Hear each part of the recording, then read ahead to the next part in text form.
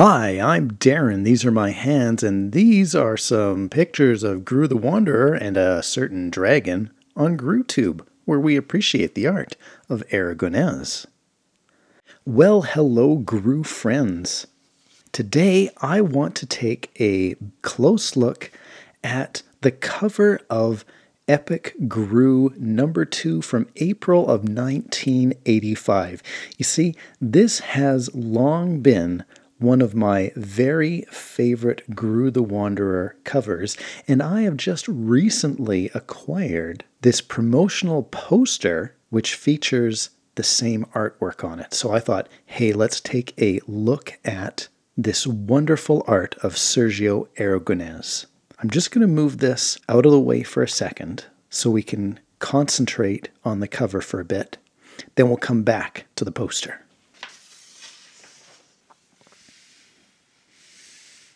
And maybe I'll even slide over here so we can put a slightly larger version or maybe some details over on the right side. Now let me tell you a little story about my copy of Groo number 2. I started collecting Groo right around the time when it started being published by Epic Comics. I was in high school at the time. I started collecting Groo. I very quickly got the Pacific Comics back issues and if I didn't start with Groo number one or Groo number two, I started very close. Now, at some point after I graduated from university, I went into a bit of a dark Groo period. I wasn't collecting Groo comics. I didn't collect any of the cool stuff that came out in the mid to late 90s. And while I was getting rid of many things from my youth, I got rid of my Groo collection. But I don't remember getting rid of my Groo collection. And when I came back from going away to school, I couldn't find my Groo comics. And then in the spring of 2020, my good friend Robin popped over to my house at a safe distance and brought a box of stuff that he found in his basement that he was sure belonged to me. And in that box were my Groo comics from way back in high school and university, and I was very, very excited to have them back. A few years prior to that, I had started collecting Groo again, and on a trip down to Toronto, I met a fella in the Canadian Tire parking lot, and I bought issues 1 through 50 from him for $50 Canadian. My two young boys enjoyed the road trip that we were on. They read lots and lots of Groo comics in the back seat, but I was disappointed that I didn't have my original copies until Robin brought them over that day. But missing from my original collection was Groo number two. I had my Pacific Comics 1 through 8. I had issue number 1 going way up to when I stopped collecting, but no Groo number 2, which is very strange. Here are some of my originals, and you can see Canadian price variants, right? I bought them locally at my comic shop. This one's not a Canadian price variant. This one is. So it's number five, but not number six. But number seven is. I don't know what was going on with my local comic book shop, whether he always got the Canadian price variants or sometimes did, or maybe I started collecting later on in 1985 and I had to pick up a couple of these back issues and the bins didn't have the Canadian price variants. I'm not sure, but all of these comics right here are my original bagged and boarded collection from when I was in high school. Anyway, all that to say, this copy of Groo number 2 is not a Canadian price variant. Almost certain that it wasn't in my original collection of Groo. And as such, it's a little bit special to me because of all of that. And it's just a fantastic cover. So on the cover, we have Groo about to attack this, perhaps he thinks it's a snake, winding its way through the reeds and the grasses. He's tippy toeing up, sneaking up on it, his katana drawn. He's about to slay, not realizing that this is no snake. This is the tail of a giant dragon who sees Groo and seems very capable of defending himself. When I look at the art on this cover, I am struck by all the detail that's going on in the dragon, especially his scales his scaly skin and the plates going up his back, the ruffle around his head, the little tendrily things dangling from him.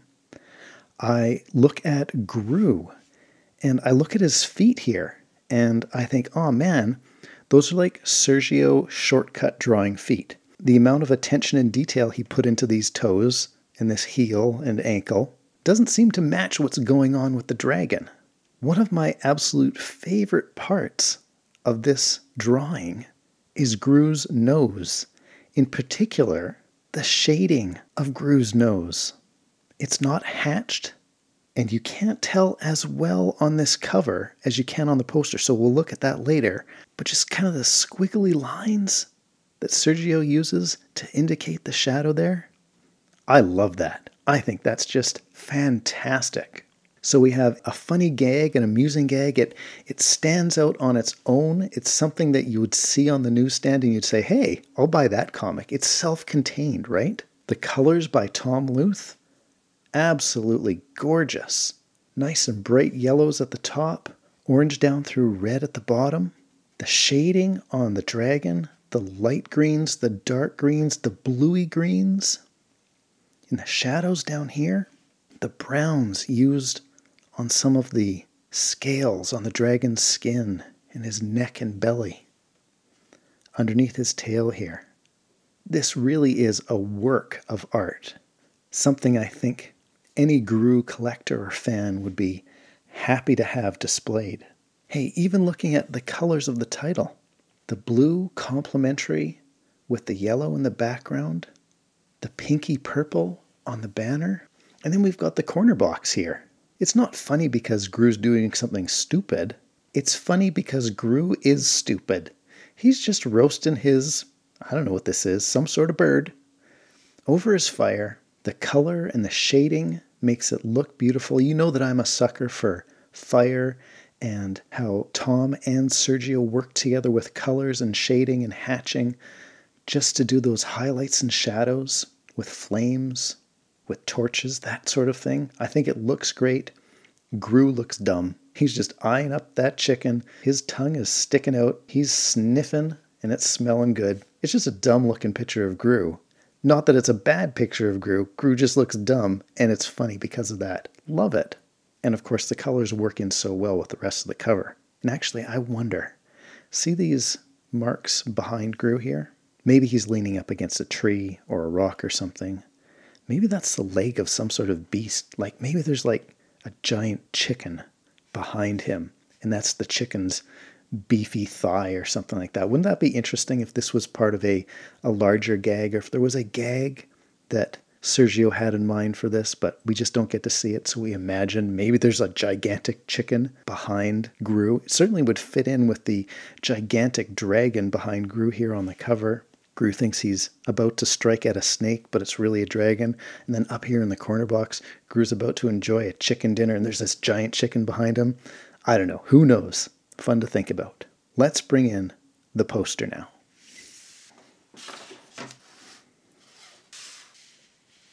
And what I've done here is I've got uh, a nice piece of glass just to kind of keep things flat. There might be a little bit of a glare, but hopefully not too much. And I think that will help us to, to see the poster flat, even if there's a little bit of a trade off there. So we have the cover of Groo number two blown up. It's probably about one and a half times size here. And we just get a closer look at some of the details from the cover. And let's go back to the nose. Let's start right here with the nose. Remember how I mentioned earlier about the squiggly lines and such? Look at that. You can just see the detail here. Line, line, line, squiggly, squiggly, dot, dot, dot. I don't know how to properly appreciate this, but I do know that I appreciate that. And I really think that it's just a great job of adding some shade. I like how Tom, I presume it's Tom, colored this, recolored this, is actually doing something different with the highlights. It looks like the highlights are coming this way on the original cover, but on the poster, they almost seem to be coming from behind. And so we've got Groo's nose, the front of Groo's nose, in a bit of shadow here, and the bottom, of course, in some shadow. We can see the highlights on the back of Groo's arms here. So a little bit of an indication of a change of light source. You know, the shadows coming this way on the dragon up here. We don't see those shadows up top here. A little bit of a shadow behind there and there. But I love that nose. I love the shadow that's added in here we really get a look at that cheap foot down here. Not that we're complaining, just noticing. But look at the fine line work of all the scales on the dragon's skin. Look at the plates going up the spine of the dragon.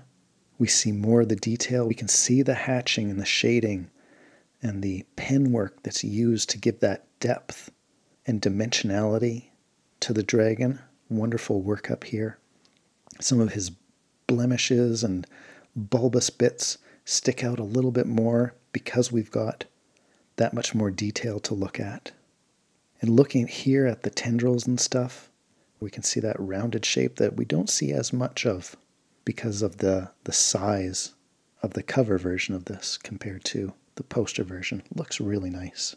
A little bit different coloring. We don't see the browns on the chest here, a little bit on the leg but not so much on the head. And while we're thinking about color, you know, Groo's jerkin seems pretty much right on there. His little blue Walkman seems pretty much right on. The redness of the gauntlets seems to be deeper, darker in the poster version as opposed to the cover version. Darker grays on the sheaths for Groo's katana on the cover as opposed to almost this putty color, very similar to the knife sheath on the poster version. The title block is moved centered above the action here. Maybe it's made a little bit larger, and obviously the color is a little bit different. It doesn't need to be blue to be complementary with the yellow background here. We've just kind of got the Groo orange going on. And let me just bring this down a bit so we can read. He's fearsome. He's fearless. He's state of the art barbarian, and now he's available monthly from Epic Comics. Sergio Aragonés Groo the Wanderer, fighting to make the world safe for cheese dip. On sale in December from Marvel Epic Comics, wherever comics are sold. So, this here, Groo the Wanderer, trademark and copyright 1984, Sergio Aragonés. And again, the Epic and Marvel copyright is 1984. So this poster, taking the cover artwork from issue number two, released probably in the fall of 1984. And when I say released, this is a promotional comic. It was given to comic book stores. This was not something that, as a Groo collector, we could buy. In fact, not to be sold, right on the side there. You might have seen this up at your local comic book shop if you were shopping in the early 80s and think, okay, I am interested in this funny barbarian comic. I will check it out in December when the first issue comes out. So, beautiful cover. We love it. I hope you love it as much as I do. I wanted to pop out this one too. As I was just looking through comics, this one caught my eye as well. Not the least of because it features prominently a dragon on the cover behind Groo. Yeah, there's Arcadio too. And Groo seems to be totally oblivious to it, just like in Epic number two. Now, wouldn't it have been awesome if this was the same dragon. Now, I don't think it is because, you know, we take a look at all the little spiky bits and the frills around the dragon head. They don't seem to be the same. He's got more of these little noodly bits coming from his chin and on top of his head that we don't see here on the original dragon. Lots more teeth as well, not just the single fang here and here, right? So, different dragon, but still kind of the same vibe happening here. And even the yellow background, right? Here and here. It draws parallels. It makes me think. It reminds me of issue number two. Now, of course, I'm not going to spoil Friends and Foes for you, but there is a dragon thread that kind of weaves through Friends and Foes. Some of you haven't had the opportunity to read Friends and Foes yet. Highly encourage you to pick it up if you can find it somewhere. Perhaps some of the best Groo to come out in the last 10, 15 years. Really good stuff. And of course, an excellent cover here. One last thing I'd like to take a look at with you. That poster is going on the wall. Gonna get it framed. See you later, friends and foes. Okay. For your consideration, no comment on the background of this image other than to say a Groo fan obtained this drawing based on the cover of Groo number two. It is an homage to the cover. It's not drawn by Sergio. It's just something for us to take a look at because this is one of my favorite covers. Now, for me, it was neat to see how the artist interpreted the cover in that he wasn't using color to express tone and shade. He was totally reliant on pen work, on, on drawing in this hatching to show the shading where Sergio had Tom to color his original comic. So it's interesting to see, you know, the shading on the dragon here, interesting to see how he uses shading to bring in volume and shape to Groo on his arms, on his body. There's your nose. Same thing there. It's a pretty faithful copy of the cover. You know, the flame is out of the corner box here, and so is the stick. And, and that's kind of neat, actually. The Comic Code Authority box is kind of pushed to the side. This might be interesting to see. I have overlaid this black and white copy over the original cover for you to see how closely they match up. And you can see they do match up very well, but not totally exactly.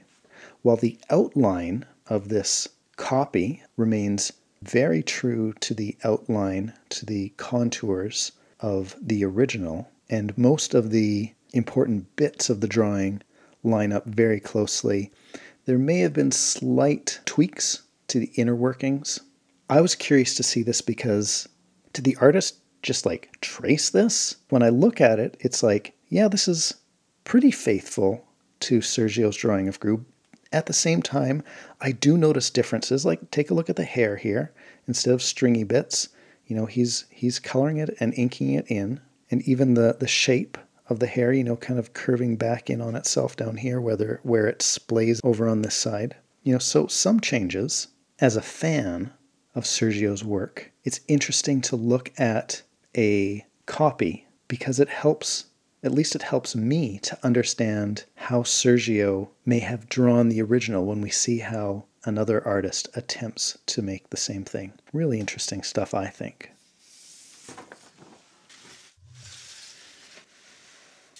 Do you remember seeing this poster back in 1984, 1985? Did you manage to get your hands on a copy back in the day? Or maybe you have in the years since? I can tell you, I am very pleased to have this now. And now that I've shown it to you, I'm going to get myself a nice frame, stick it up in the wall of my office here. Absolutely inspiring artwork from Sergio Aragonés. I hope you enjoyed it today. I hope that you will give this video a like, maybe leave a comment below, but please make sure that you are subscribed to Groo Tube and that you have notifications turned on because I will be back soon with another video and I don't want you to miss out. Take care, everybody. Oh, Groo, you're such an idiot.